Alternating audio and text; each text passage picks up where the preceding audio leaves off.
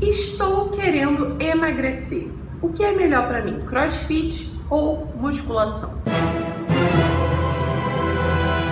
Se você tem essa dúvida, já curte esse vídeo, compartilhe com seus amigos que também têm essa dúvida e comenta aqui embaixo, né? O que, que você acha sobre esse tema? Prefiro não comentar. Bom, em outros vídeos você já deve ter me ouvido falar que para hipertrofia muscular, né, para ganho de massa magra, a musculação acaba sendo mais indicada porque nessa atividade é mais fácil de você manipular as variáveis para esse objetivo específico.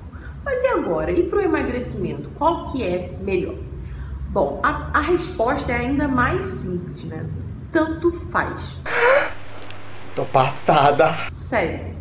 Faça a atividade que você mais gosta. Pode ser musculação, pode ser crossfit, pode ser qualquer outra. De verdade. Sabe por quê? Porque exercício sozinho não vai fazer você emagrecer enquanto você não estiver fazendo uma dieta, né? Uma, seguindo uma estratégia alimentar para esse objetivo.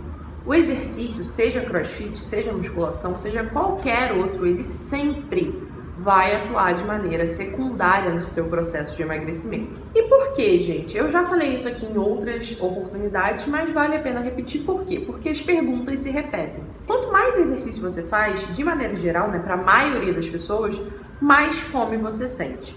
Além disso, né, o seu corpo ele desacelera ao longo do dia para compensar aquele esforço que você fez, né? É muito comum isso acontecer. E também a gente, né, de maneira é, consciente ou inconsciente, acaba se permitindo comer mais coisas, comer mais alimentos, muitas vezes não saudáveis, justamente porque praticou uma atividade física. Inclusive, é comum pessoas que emagrecem justamente quando param de fazer atividade física porque ela, aí elas se sentem na obrigação de controlar a alimentação. Eu não me controlo. Por outro lado, existem as pessoas né, que se animam de seguir um estilo de vida saudável, de melhorar a alimentação e etc., quando começam a fazer uma atividade física né, e quando conseguem ter consistência. E aí vem o pulo do gato.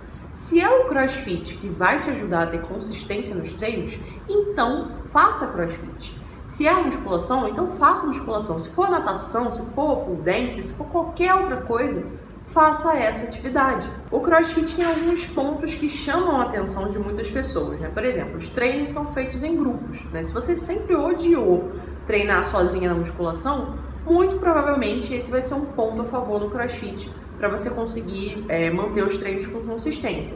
Outra coisa é, os treinos são dinâmicos, são variados. Cada dia que você chegar lá vai ser um treino diferente para fazer. É para quem sempre odiou ter que fazer a mesma série durante um mês, dois meses, esse também é um ponto positivo. Além disso, os treinos são intensos, né? Eles têm o objetivo de trabalhar várias capacidades físicas, força, resistência cardiorrespiratória, velocidade, potência, enfim, muitas coisas. E também existe a competitividade saudável, né? que para quem gosta né, de competir e se sente estimulado nesse tipo de ambiente, é um ponto positivo.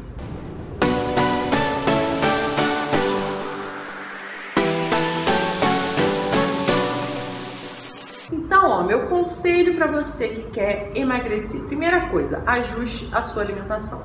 Segunda coisa, encontre uma atividade física que você consiga manter no longo prazo. Se for musculação, ótimo. Se você não se encontrou na musculação, procure o crossfit, procure natação, procure uma dança, né? Se permita conhecer outras atividades e aí escolher qual que se adequa melhor ao seu perfil. Sempre com a consciência de que não vai existir nada que sirva para todo mundo, que seja legal para todo mundo, que, enfim, vai agradar todo mundo. Encontre o que agrada você, ok? Espero que você tenha gostado desse vídeo. Ative as notificações para você ser avisada sempre que eu postar um novo vídeo, tá bom? Beijo grande e arrase nos treinos, seja ele qual for.